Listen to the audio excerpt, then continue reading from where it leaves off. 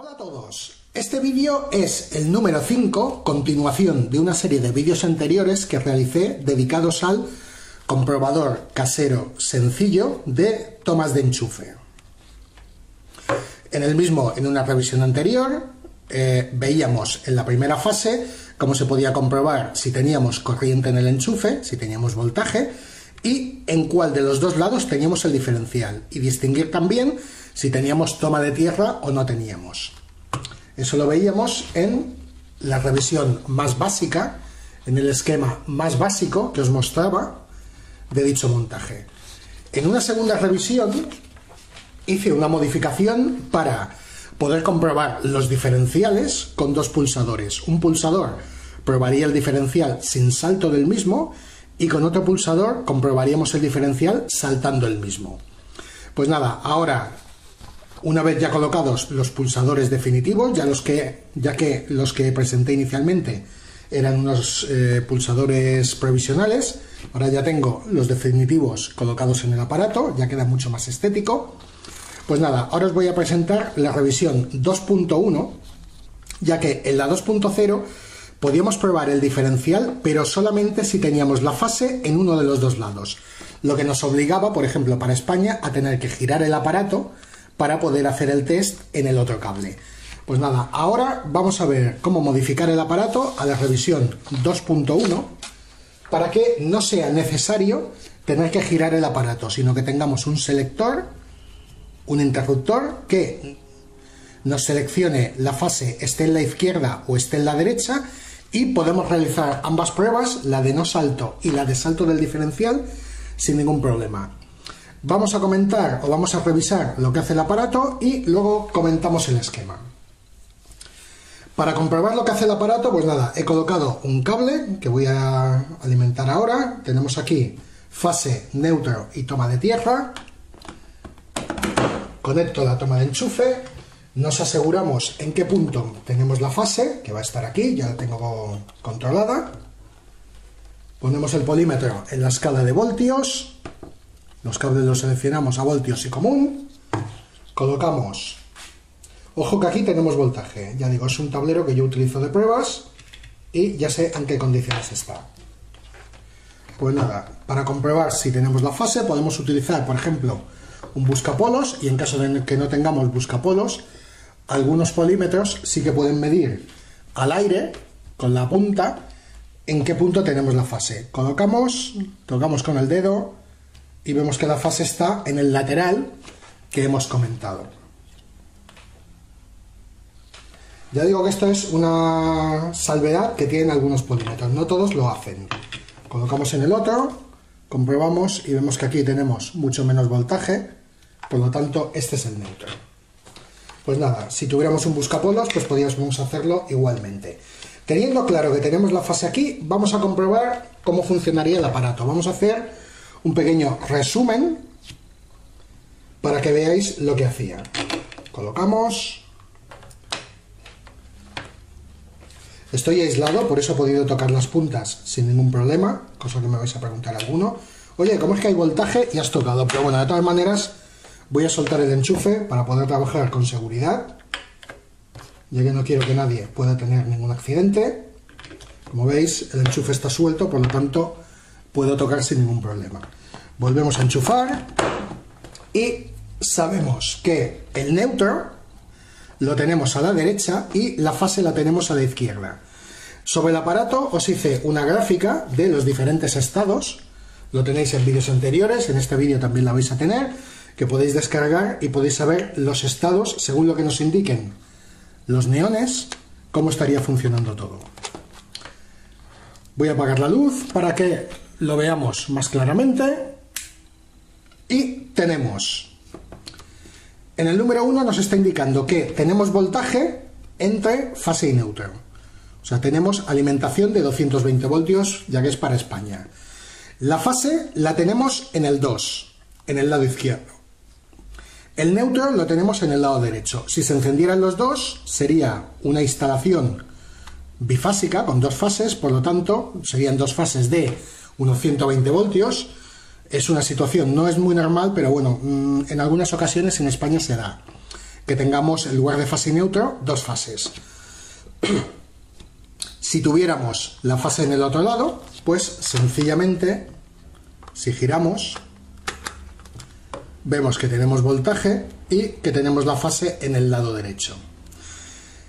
Con el aparato podemos hacer la prueba del salto de diferencial, tal, como lo tengo configurado ahora, cuando tenemos la fase en el lado derecho.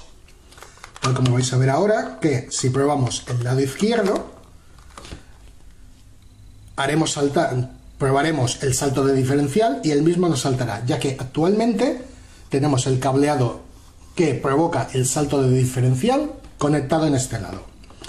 Testeamos el diferencial, que era la revisión número 2 del aparato, o sea, el test de salto de diferenciales, testeamos que no salte. Tal como veis, diferencial no salta. Para que no salte, he aplicado una, resistencia de 15 ohmios, 15 midohmios, cosa que tenéis marcado en el esquema. Vamos a ver el salto de diferencial con la de 10 ohmios. Tal como he dicho, con la fase en el lado izquierdo no salta. Tal como veis, no tenemos salto de diferencial. Vamos a girar el aparato o vamos a girar el enchufe, lo que más nos guste, giraremos el enchufe ya que es más fácil. Y tenemos la fase en el lado derecho. Ahora sí que vamos a poder realizar el test de salto de diferencial. Comprobamos que no salte, tal como veis, y ahora comprobaremos que salte el diferencial. Vamos a provocar una derivación a masa. Tal como vais a ver ahora, los neones se van a apagar y vais a oír el diferencial saltando. Tal como habéis visto, los neones se han apagado, hemos testeado el salto de diferencial, le hemos aplicado una resistencia de 10 ohmios, 10.000 ohmios, y por lo tanto nos hemos quedado sin luz. Pues nada, la revisión 2.1 que comentábamos, vamos a poder hacer que tanto tengamos el diferencial en un lado, perdón, la fase en un lado como en el otro lado, vamos a poder testear nuestro diferencial. Es un tema bastante importante, por ejemplo, un usuario o un seguidor de los vídeos me comentó que para México vosotros no teníais la posibilidad de poder girar, como sucede en España, la toma de enchufe, ya que las vuestras son rectangulares y impiden el poder realizar el giro. Pues nada, vamos a ver para una instalación que tanto tengamos la fase en un lado como en el otro lado, cómo poder hacer el salto de diferencial, cómo poder probarlo. Es tan sencillo como implementar al circuito un conmutador, los típicos usados en electrónica, pequeñitos, y dos trocitos de cable y un puente, bueno, dos puentes que ahora vamos a ver. Para seguridad, para envolver el interruptor, sus conexiones, voy a colocar un trozo de termorretráctil para que no queden al aire y no haya peligro. Y nada, lo vamos a tener modificado en unos minutos y complementado el mismo. Conecto nuevamente la luz y procedemos a realizar la modificación del aparato, que tan solo va a ser sacar la toma de enchufe que tiene en el frontal, añadirle dos cableados que llegarán al interruptor. Ahora veremos una salvedad del interruptor para los que no los conozcáis, o el conmutador, mejor dicho. Para los que no, no conozcáis este tipo de conmutadores, hay que tener en cuenta que la conexión la estamos realizando en el punto más alejado de hacia donde enfocamos la palanca. Es decir, cuando nosotros tenemos la palanca mirando a la derecha, a la izquierda, perdón, el contacto que cerramos es el de la derecha y al revés. Si conectamos la palanca a la derecha, el contacto que cerramos es a la izquierda. De los seis pines que tiene, este interruptor tiene dos circuitos separados. Tres para un circuito y otros tres para el otro circuito, totalmente independientes. Vamos a ver cómo modificaríamos el aparato y cómo lo conectaríamos. Antes de proceder a la modificación del aparato, vamos a comprobar lo que os comentaba de los pines del interruptor. Sabemos que el pin central es el común y tenemos contacto izquierda y contacto derecha. Pues nada, vamos a conectar centro e izquierda. Como tenemos la palanca a la derecha, nos tiene que dar circuito cerrado. Tal como estamos oyendo y estamos viendo. Conmutamos y nos da circuito abierto. Tal como veis. Por lo tanto, el contacto lo ha pasado aquí. Correcto. Comprobamos que los dos circuitos sean independientes, que no tengamos conexión con los otros pines. No tiene que dar ningún tipo de conexión, tal como veis. Correcto. Tenemos un, conmutador de dos posiciones, doble circuito. Por lo tanto, nos sirve para lo que queremos montar. Para realizar el montaje, pues nada, sacaremos los tornillos que habíamos colocado al aparato, los tornillos provisionales, ya cuando esté definitivamente realizado y modificado le, eh, le colocaré unos tornillos más adecuados.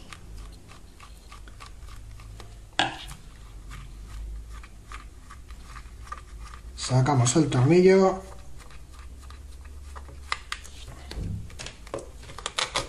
Sacamos la toma de enchufe. El interior, según he ido avanzando, ya he dejado las conexiones protegidas, adecuadas. Por ejemplo, tenemos aquí los diodos perfectamente aislados para que no haya peligro. Las resistencias lo mismo, las primeras las puse de forma provisional, ya lo tenemos en montaje definitivo, aislados, sin Pero previamente, antes de sacar el cableado, lo que tenemos que hacer es preparar el conmutador y realizar el hueco donde va a ir instalado el mismo. Para realizar el hueco no es nada complicado en este caso, ya que el plástico es muy blando. Tomamos una medida aproximada de donde queremos colocarlo, que sería el centro. Vemos el tamaño, el diámetro del agujero del conmutador. Y sencillamente con un cúter, con cuidado, realizamos la perforación. En el punto donde nos guste más o donde consideremos que es más adecuado. Poco a poco vamos cortando y vamos realizando la adaptación del agujero. Voy a ir haciendo y ahora vemos cómo continuaría el tema. Ya tenemos el agujero perfilado, comprobamos el interruptor, comprobamos que el mismo entra y lo que será un poquito más complicado es introducirlo desde la parte frontal, pero bueno, habrá que arreglarse y hacerlo como más o menos se pueda, ya que es como introducir un barco en una botella. Pero bueno, todo se puede realizar. Voy a proceder a realizar las soldaduras del conmutador y vemos qué cableados tenemos que colocarle al mismo. Los cableados que le colocaremos al mismo serán los siguientes.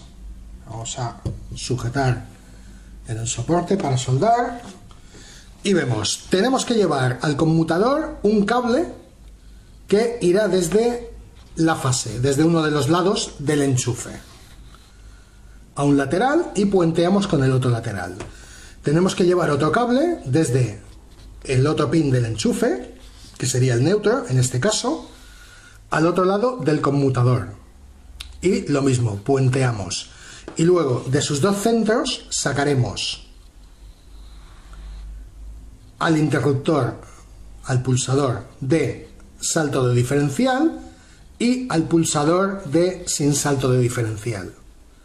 Por lo que conseguiremos que, conmutando a un lado o a otro, podamos seleccionar la fase que estamos aplicando al test de salto de diferencial. Vamos a ver cómo conectaríamos, cómo colocaríamos los cableados. Únicamente necesitamos dos cablecitos, ya que los otros dos los vamos a sacar, a sacar de los que actualmente llegan a los pulsadores. Pelamos los cablecillos.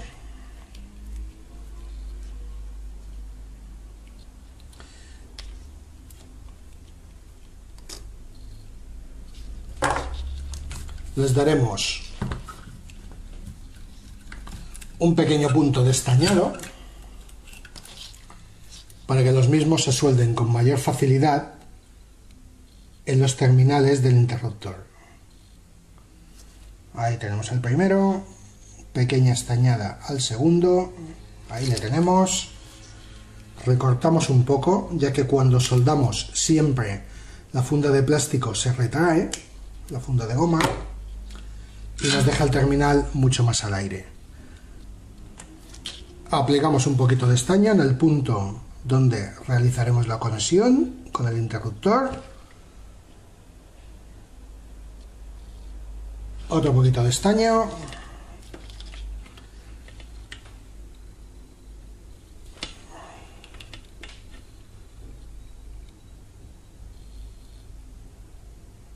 Primer cable conectado.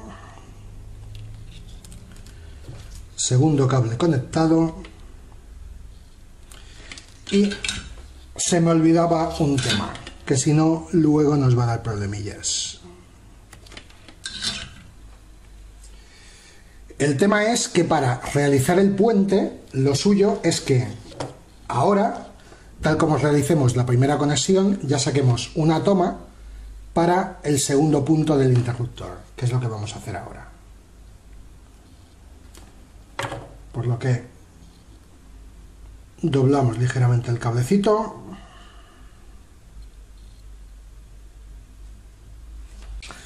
Para enfundar las conexiones colocaremos dos trocitos de termorretráctil,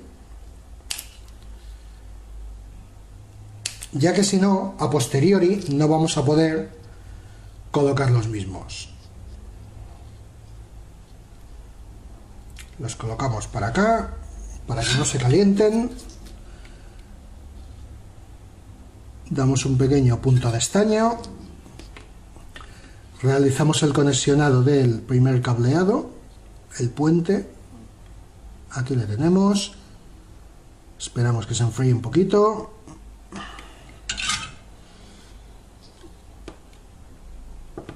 Ahí estaría frío ya.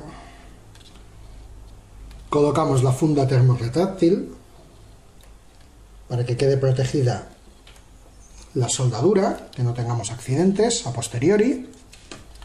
Luego ya la calentaremos y se encogerá. Colocamos la otra funda que procederá a enfundar el otro cable. Y a esta funda tenemos que pasarle nuestro cableado por el interior ya que si no, no podemos colocarla. Ahí ya le tenemos.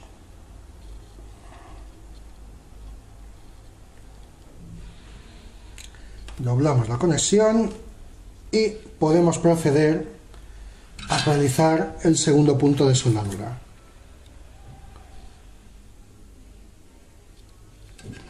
Ahí le tenemos. Conexionamos el segundo punto de soldadura.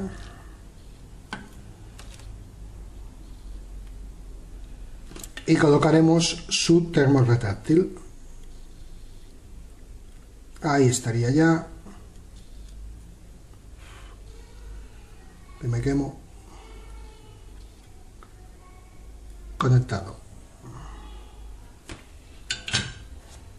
Esperamos unos segundos que se enfríe. Movemos el termo retráctil si nos deja esto a veces es complicado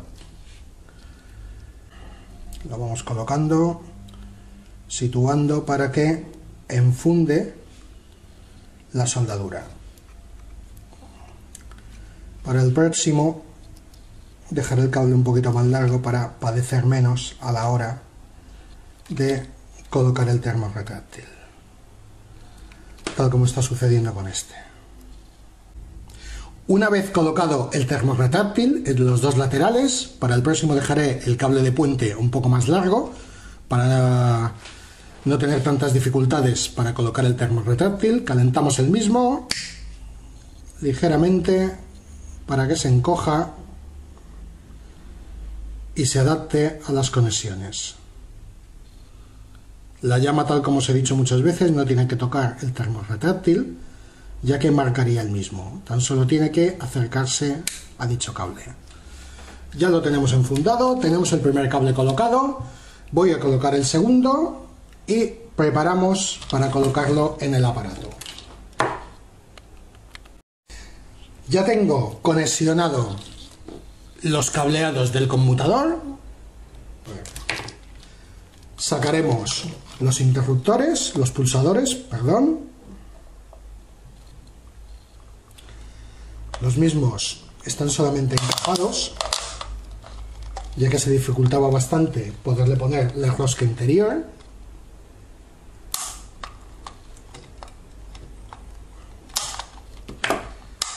Sacamos los mismos, vemos el cableado que puentea un pulsador con el otro pulsador, que sería este, vemos el cable blanco que va a la toma derecha, lado derecho que habíamos comentado antes, por lo tanto este cableado hay que eliminarlo. Sacamos el mismo, volvemos a apretar para que no se suelte nada, luego ya conectaremos el cable. Sacamos el cable blanco.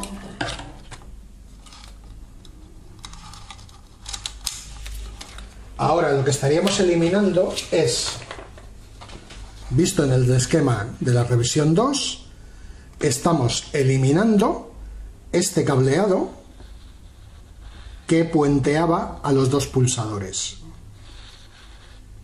Los cableados que van a las resistencias los vamos a dejar y soldaremos un segundo cable entre los pulsadores y el conmutador que tenemos aquí. Tal como digo, dejamos los cables que van a las resistencias, esos están correctos, y soldamos un segundo cable al conmutador.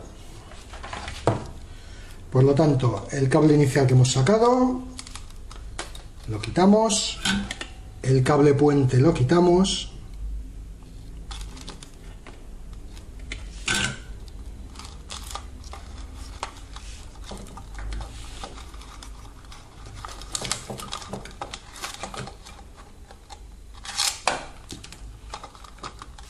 dejamos solamente un cableado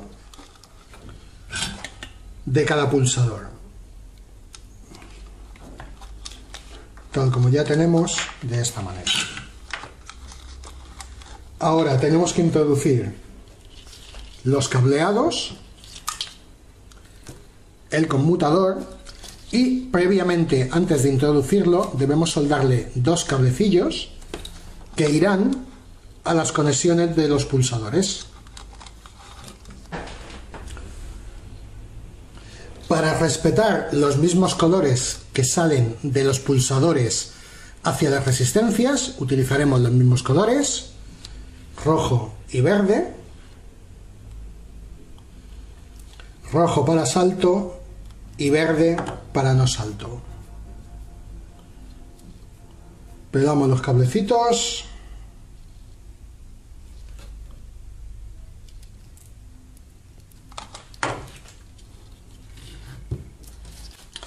Procedemos a soldar los cables de salida del conmutador.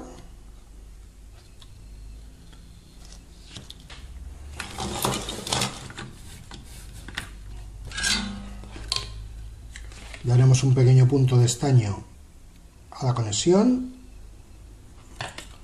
una pequeña estañada al cableado y colocamos el mismo.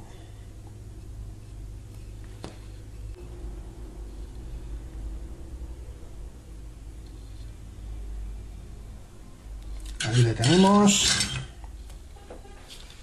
Colocaremos un trocito de macarrón o de funda termorretráctil para envolver la conexión.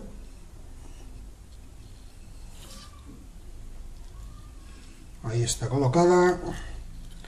Vamos a realizar la otra conexión. Trocito de macarrón.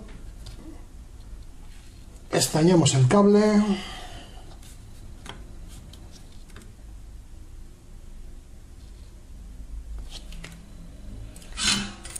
Pequeño punto de soldadura. Al pin y colocamos el cable.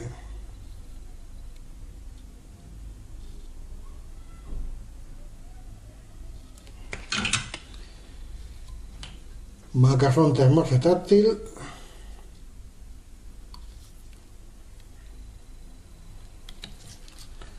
procederemos a calentar los mismos y quedarán todas las conexiones completamente protegidas tal como estáis viendo.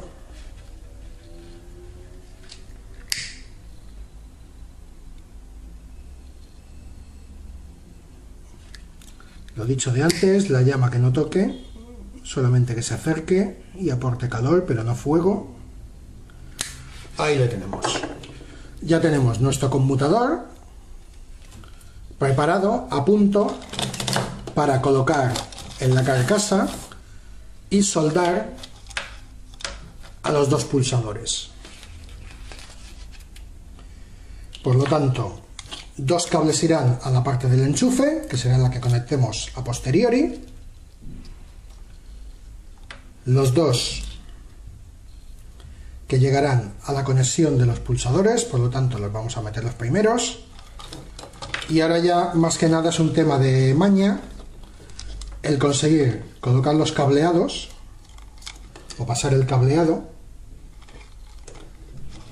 que llegue donde corresponde y introducir el conmutador en la carcasa. Así consigo pasar uno al menos iré haciendo en cuanto lo tenga continuamos el vídeo. Vale aquí ya tenemos uno medio cazado. Aquí le tenemos esto también nos ayudará a poder posicionar el conmutador.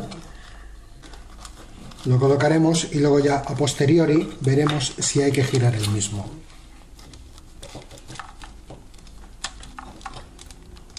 Vamos posicionando con cuidado. Ahí ya va asomando. No sin dificultad, claro está, ya digo, es como meter un barco en una botella. Suerte que en este todavía, pues mira, nos cabe el dedo para poder ir introduciendo. Pues nada, voy a ir cazándolo y cuando lo tenga posicionado continuamos con el vídeo.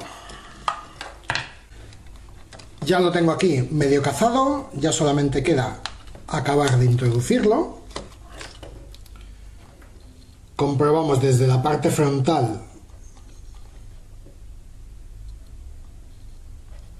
si nos queda bien y luego ya la conexión de un lado o el otro ya la realizaremos para dejar acorde a como estén las fases el conmutador.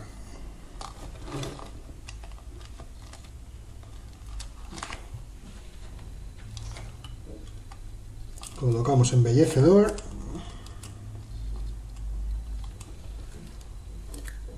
Colocamos la tuerca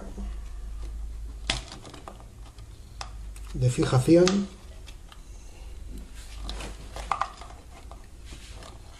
Y le damos una ligera apretada para que quede fijo. Con ayuda de un alicate pequeño damos una ligera apretada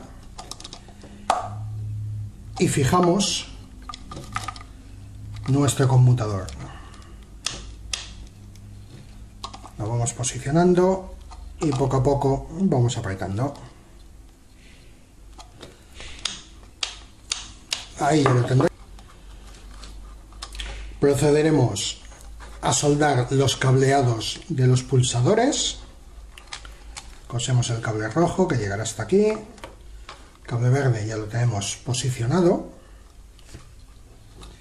Y ahora soldaremos los mismos y les colocaremos un trozo de termorretráctil a fin de que queden protegidos.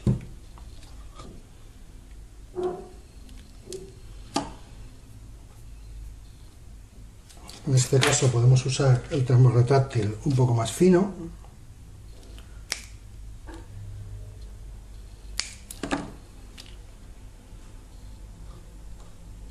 Colocamos la funda aplicamos un punto de soldadura, recortamos, estañamos y soldamos.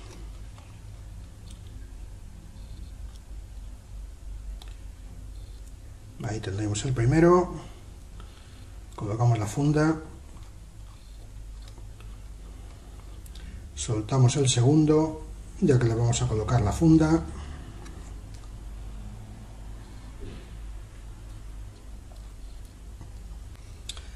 Soltamos el segundo, aplicaremos un poquito de estaño.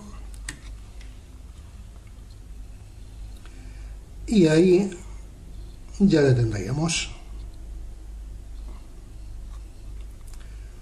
Este ha quedado un poquito levantado, por lo que a la hora de poner la funda nos dificultará un poco más. Ahí ya está corregido.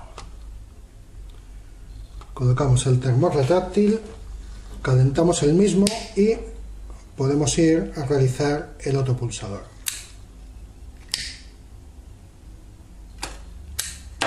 Ahí está a punto, hago el otro y continuamos con el vídeo. Una vez ya puntos finalizados los dos pulsadores, introducimos los mismos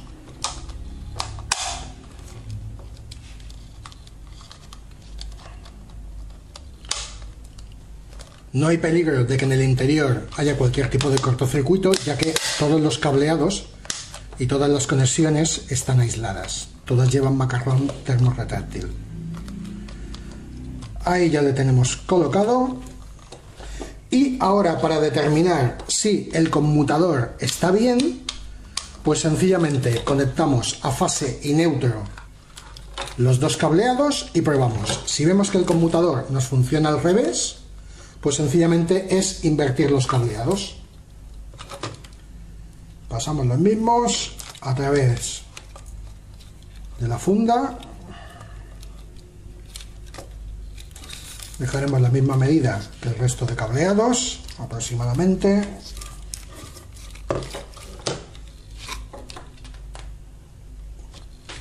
Recortamos.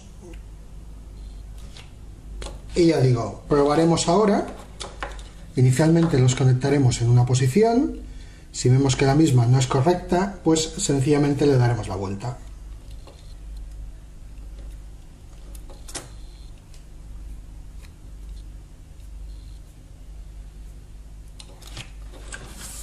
Estañamos las dos punteras,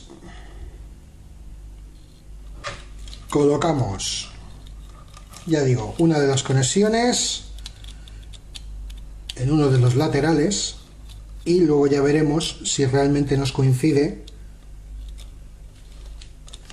con la posición del, del, conmutador.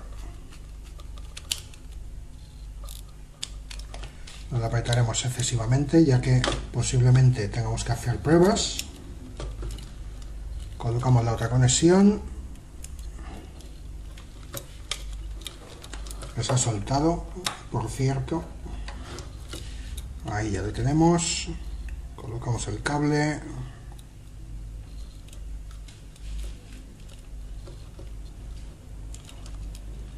Conexionado.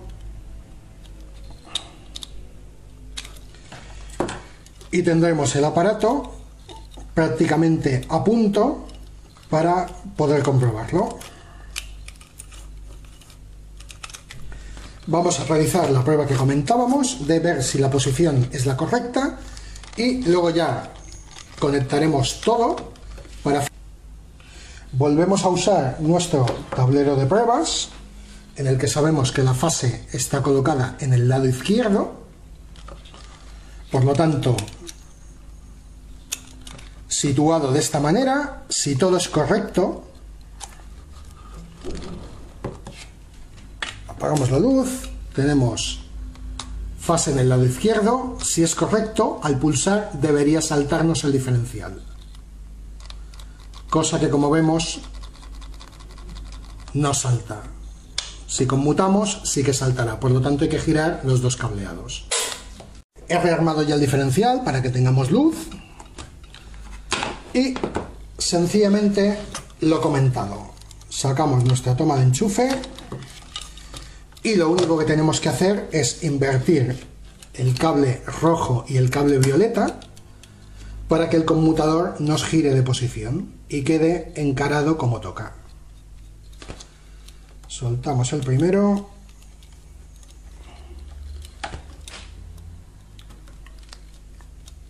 Soltamos el segundo.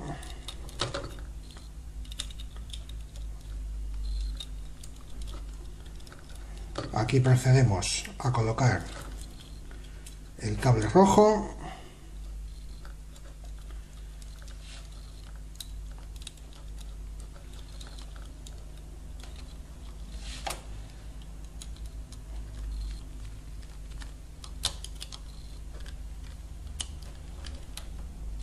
Ahora ya, que ya es definitivo, ya lo podemos apretar adecuadamente.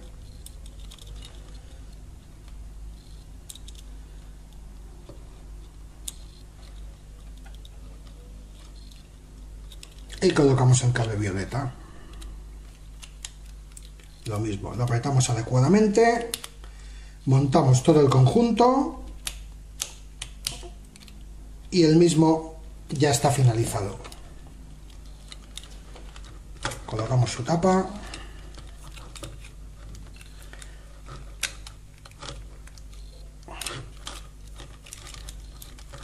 Teniendo en cuenta que los cableados queden bien posicionados ahí estaría embutimos todos los cableados en el bote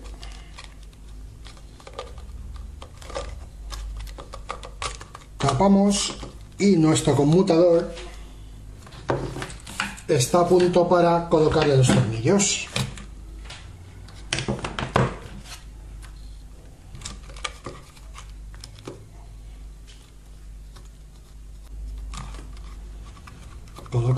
Y con esto ya podemos proceder a realizar la prueba definitiva para estar seguros de que todo funciona adecuadamente. tornillo puesto para que no se escape, el otro tornillo.